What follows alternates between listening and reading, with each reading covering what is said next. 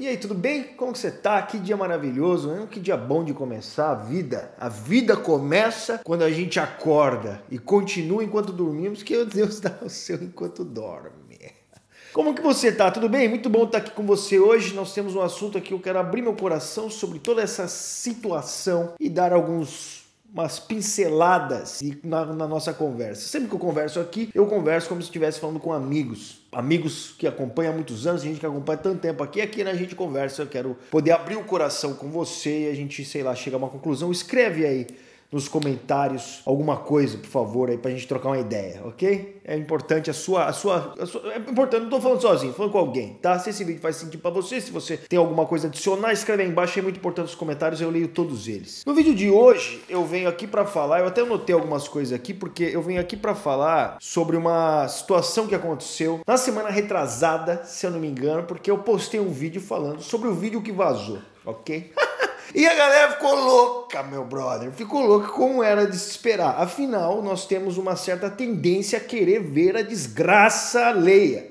Não vou dizer que todas as 100, 100 mil pessoas que assistiram o vídeo queriam ver a desgraça alheia, mas de alguma forma nós somos treinados nessa vida onde desgraça vende a querer ver e acompanhar coisas terríveis acontecer. Então, quando eu postei um vídeo falando sobre um vídeo que vazou, eu tava explicando, a galera veio a milhão. E teve gente que entendeu o que eu tava falando, que realmente de um vídeo que saiu. É muito importante que você veja esse vídeo agora. Do vídeo que saiu do lançamento do nosso livro. Ele saiu de uma forma inesperada. Eu aproveitei essa situação de sair de uma forma inesperada para falar sobre ele, que é um livro exatamente sobre, é, é, cara, é de apologética, de história, de evangelismo. Um livro com quase 300 páginas, realmente falando sobre um assunto relevante. Só que se eu coloco na internet aqui, coloco. Jesus, vamos pregar, vamos falar de Jesus, vamos falar de Jesus, livro de evangelismo, ninguém vai ver nada, não se interessa. Nós, estamos, nós vivemos na luta selvagem das, das manchetes, das coisas sensacionalistas, e nós estamos aqui no meio da selva digital da internet louca, que é uma competição maluca por atenção, ok? Às vezes você tem que jogar o jogo. Só que o que me, me, me acho interessante, às vezes as pessoas vêm até que criticar a questão dos vídeos,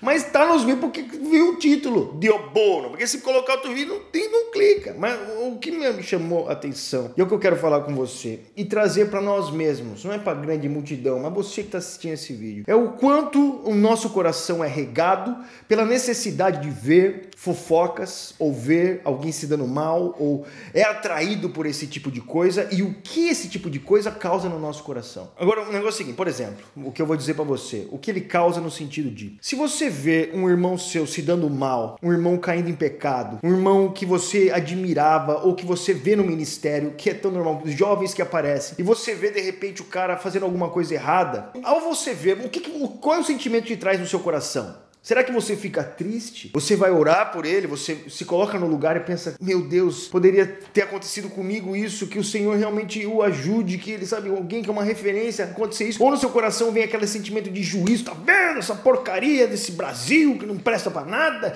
e esses jovens não prestam para nada, eu sabia disso. Ou no seu coração vem alegria de ver isso acontecer. Deu um irmão se dando mal. O que acontece? Porque no meu coração já aconteceu dos três, tá? E é terrível quando você se alegra em ver alguém se dando mal. Isso é do demônio. Isso não é de Deus, isso é do demônio. Agora, por que que os sites de fofoca cristãos crescem ainda mais? Por que as notícias crescem? Por que isso?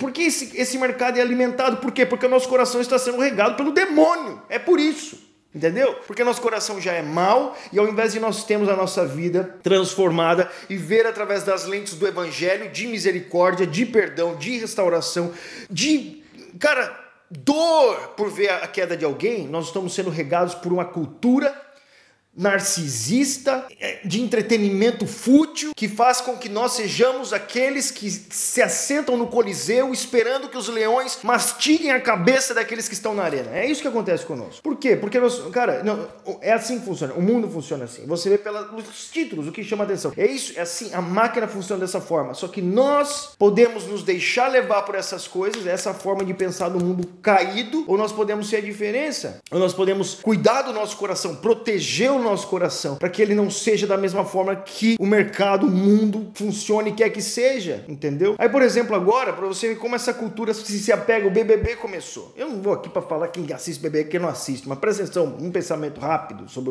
o Big Brother, ok? O Big Brother começa sempre muito bem. As pessoas que vão lá, todo mundo tá lá, todo mundo feliz, todo mundo tem as suas redes sociais prontas, todo mundo fica falando bem, fica falando bem, fica falando bem, as pessoas ficam felizes quem tá lá e quem acompanha também, até que essa pessoa começa a cometer erros lá dentro, que é algo humano, né? Ninguém foi feito para ser vigiado 24 horas por dia Ninguém vai feito para isso. Então essa pessoa começa a cometer erros. E aqueles que estão de fora começam a se tornar os seus os juízes morais. Nós, comemos, nós começamos a se tornar os, aqueles que decidem a moral de quem está lá dentro. E de repente eles vão para o paredão. E no paredão eles vão porque eles cometeram coisas que nós, o público, na arena que quer ver o leão comendo a cabeça das pessoas, achamos errado. Nós, nós os juízes da moralidade. E nós começamos a julgá-los e nós não gostamos mais. E nós começamos a, a dar as nossas opiniões opiniões sobre o que eles fizeram. Nós quem somos nós? Tudo bem, a parada é um jogo. O jogo funciona assim, ok? Não tem como você mudar, funciona assim. Alguém tem que sair, alguém tem que ser eliminado, alguém tem que ir pro paredão, alguém que não agradou ao público tem que ir pro paredão. Só que isso se traduz ou se amplia no nosso cotidiano e você acha não? Você acha que não? Na verdade, o Big Brother é só um reflexo, no meu ponto de vista. É um reflexo do que nós já somos, como nós funcionamos. E é por isso que o jogo vai bem, porque é, é a forma que, que agrada agrada o nosso cérebro, a forma de ser. Mas de repente nós levamos a nossa vida moral de fofoca, ok? Nós levamos a fofoca para o nosso dia a dia. Por exemplo, quando você está em um grupo de pessoas e você está conversando e uma pessoa sai, você está com algum amigo, você, quando essa pessoa sai, você faz um comentário sobre a pessoa que saiu, você tem algo para dizer e você diz. E aquele comentário que você faz é um comentário bom ou é algo ruim? É uma coisa negativa que você viu nela? É algo que é crítico? Ou você elogia? Porque tudo bem você elogiar alguém, você fala, vê algo bom, é algo que traz luz para o seu coração também, traz luz para as intimidades, mas o que sai do nosso coração? Porque nós temos nos tornado ainda mais com, com a internet, com o advento da internet, juízes morais o tempo todo. Nós, nós julgamos sobre o que é certo, o que, é não, o que não é certo sobre todos o tempo todo. E isso também pode acontecer acontecer nas nossas relações mais próximas, e é por isso que nós não temos relações mais próximas, porque nós nos tornamos tão críticos que ninguém é bom o suficiente para estar conosco, ou nós não somos bons o suficiente para estar com ninguém, ou nós juntamos um grupo de juízes que definem sobre os outros quem é digno ou não de estar conosco, ou fazer parte daquilo que nós achamos que é certo fazer. Olha quanto isso é louco, porque isso é tudo regado por uma fofoca, isso é tudo regado por fofoca, e a fofoca é do demônio também, cara. Da onde veio tudo isso? Da onde veio? Sabe, esse é só um pensamento que eu tô falando com você, porque nós podemos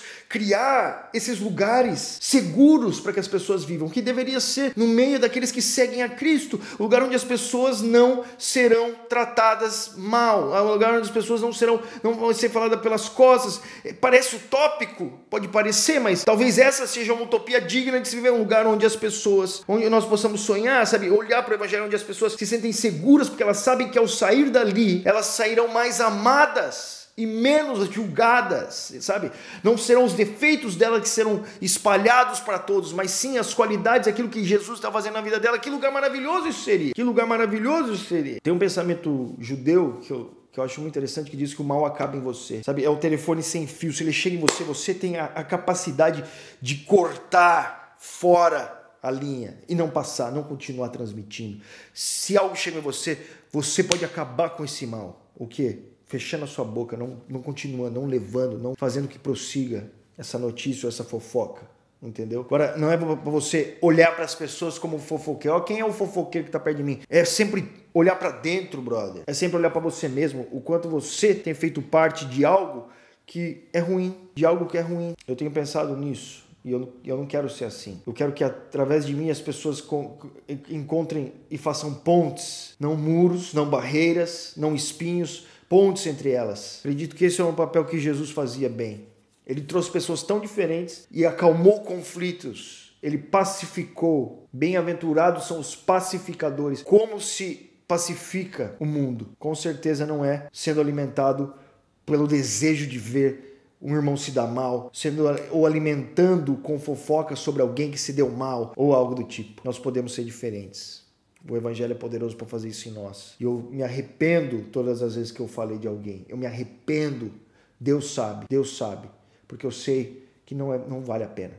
Não vale a pena. Eu me arrependo todas as vezes que eu fui ver uma notícia ruim, eu me arrependo, eu me entristeço de saber que um dia eu pude me alegrar Sabe, não é aquela alegria oh, que você festeja, mas você encontra lá dentro, no fundo do seu coração, a desgraça da alegria de ver o mal de alguém. O demônio do coração, cara, é, é a maldade carnada dentro de nós que precisa ser tirada por meio do evangelho de Cristo, sendo purificados, limpos, para fazer de nós pessoas que se alegram com a vitória, se entristecem com a derrota, como Jesus como Jesus, meus irmãos. E é isso daí. Então, um monte de gente vem falar um monte porque eu postei o um vídeo falando lá, mas vieram aí. Se você veio aqui de novo por conta disso, meu irmão, que o evangelho possa resplandecer no seu coração para que você veja a diferença da vida que existe num Deus perdoador. Que Deus abençoe. Mais uma vez estou aqui para dizer que a nossa pré-venda do livro está disponível, tá? A pré-venda está disponível. Quem comprar na pré-venda vai fazer parte do clube do livro. Hoje está chegando meu material para poder fazer as lives com qualidade para vocês. Vai ser incrível e eu estou muito feliz com isso. É isso aí. Que Deus abençoe. Falou, falou, falou!